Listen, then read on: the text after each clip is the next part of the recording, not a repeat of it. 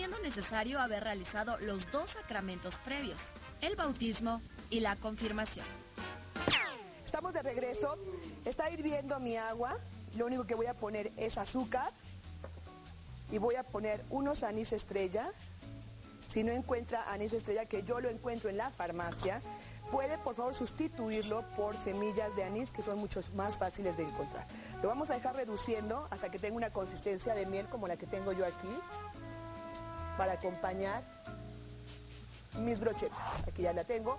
Si se fija, el color cambió completamente y tiene un... Mmm, el sabor está delicioso.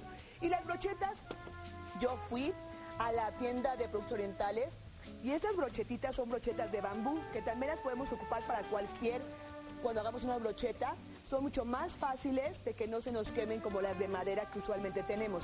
Entonces les recomiendo tener estas y yo la verdad otras tengo nada más húmedas para que pueda entrar perfectamente todo. Tengo lindas bolitas porque aparte les quiero decir que me tomé la molestia de hacer, se pueden hacer con un día de anticipación las bolitas, tenerlas listas y podemos jugar con las frutas que uno tenga en casa o que sean de temporada.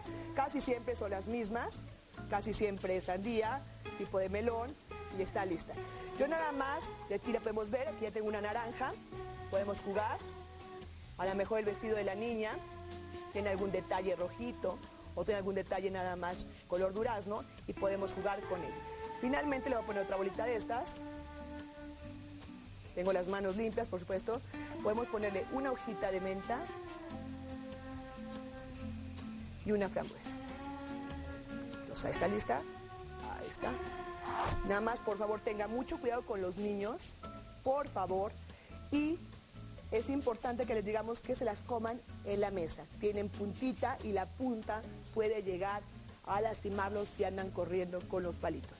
Vamos a ver esta cápsula de las tijeras de cocina y tenemos una maravillosa centro de mesa que son las frutas o las puede presentar en un platito como les voy a presentar yo al ratito. Podemos poner dos banderillas nada más cruzadas y acompañarlas de esta deliciosa miel. Vamos a empezar ahorita, terminando esta cápsula que viene, voy a hacer los recuerdos de la primera comunión, por supuesto, con Liliana Aguirre. Ahorita regresamos.